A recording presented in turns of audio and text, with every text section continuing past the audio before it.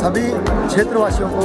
जनपदवासियों को प्रदेशवासियों को एवं देशवासियों को मेरी तरफ से आने वाले नौ वर्ष की हार्दिक शुभकामनाएं